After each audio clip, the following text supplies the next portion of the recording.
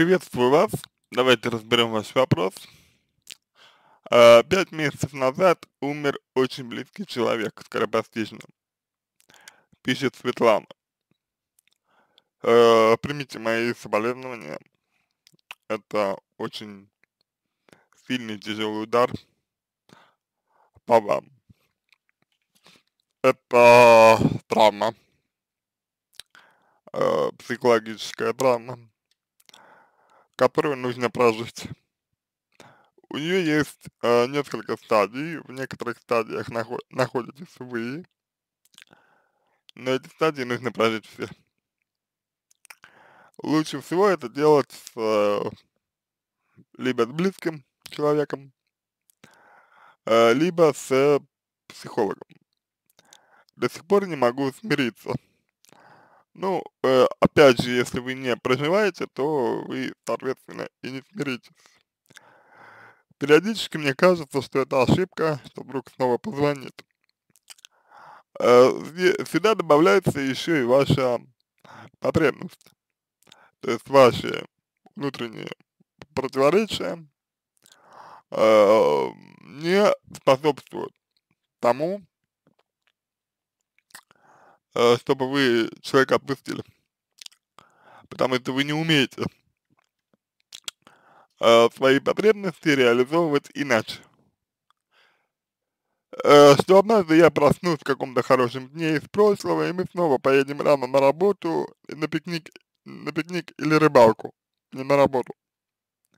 Но чудо не происходит. Э, здесь история про потребность почувствовать определенное состояние.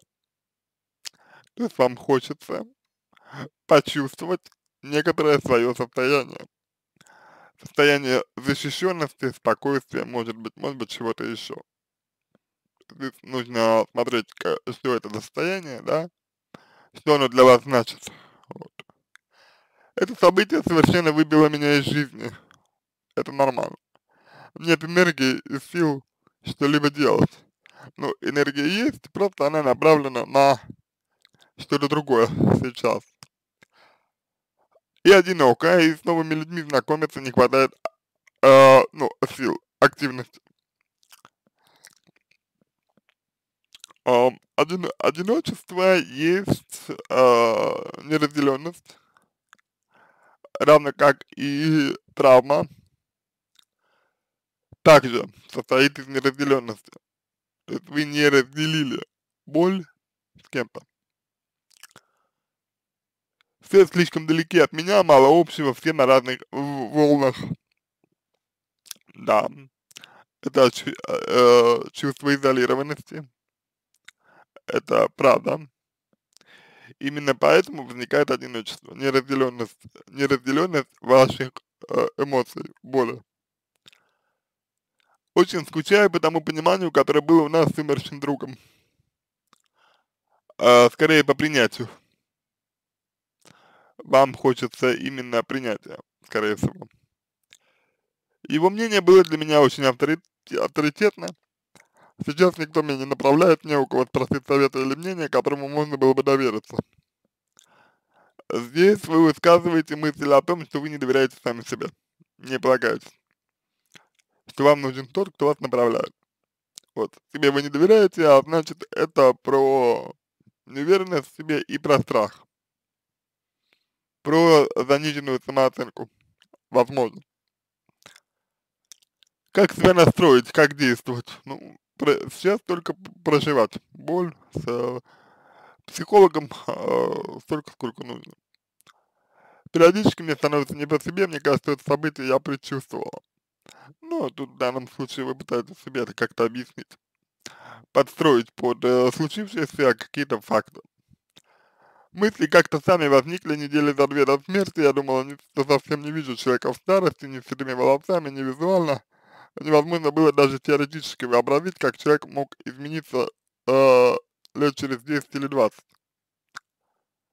Это никак не связано с, э, с его э, смертью, это может быть связано только с тем, что он э, для вас был достаточно ярким образом, вот, и вы его немножко идеализировали, вот, отсюда. Это меня насторожило, но я не придала этому значения. Сейчас мне кажется, что это был какой-то знак. Нет, нет, это попытка вашего э, сознания объяснить происходящее. Бывает такое, что я забываю о случившемся, это нормально. Займусь каким-то делом, думаю, надо рассказать потом, сейчас что-то не созваниваемся, наверное, занят, и вспоминаю, как в первый раз. Да, это тоже абсолютно нормально, вот. Это больно, вы проживаете эту боль. Вот. Учитесь немножко по-другому жить сейчас. Когда, наконец, усвою этот факт, ну, когда примете до э, этого, судя по всему, еще нужно дойти. Постоянно прохожу по этому кругу, так хочется рассказать, а не, пол, не получится, умер, как умер, от чего не болелся ничем, точно умер, вдруг это ошибка, о, ужас, теперь уже никогда. Э, здесь история про, повторюсь, потребность вашу. Устала уже остаться, но не могу это контролировать, э, это нормально. Потом становится страшно, где человек сейчас, вдруг ему плохо, сколько всего он уже не сможет сделать или почувствовать, потом жалко себя, вспоминаешь какие-то жизненные неудачи или неурядицы, думаешь, что еще и близкого человека отобрали. Это чувство несправедливости и плюс ваше отношение к э, своим, ну, неудачам, да, то есть как вот вы их воспринимаете. Потом начинает торговаться, вот отдать один год жизни в обмен на еще один совместный день. Это нормально, это, это одна из стадий э, проживания потери близкого. От этого еще хуже, понимаешь, что никогда не смогу получить даже живую реакцию, ни одно слово. Это потребность. Человек на самом деле э, живет в э, вашем сердце, вот, но вы себе не доверяете. Не помогает мне ничего, ни спорт, ни музыка, ни театр, ни путешествия. Я уже писала письмо и ходила к психологу. К психологу нужно ходить не один раз. Вот. Тяжело одну часть меня обре будто обрезали, во второй, во второй что-то растворили. Не хочу так продолжать жить, хочу радоваться жизни как раньше, чтобы близкий человек был рядом. Ну, совершенно очевидно, что последнее невозможно, а радоваться жизни вы сможете постепенно со временем. Если позволите себе прожить и, возможно, простить себя, потому что мне показалось, что вы чувствуете вину перед ним и перед собой в частности, за то, что потеряли вот такого человека хорошего. Вот. На этом все. Надеюсь, что помог вам. Буду благодарен за обратную связь по, моему, по моему ответу. Это позволит вам начать над собой работу. Желаю вам всего самого доброго. Удачи. Обращайтесь.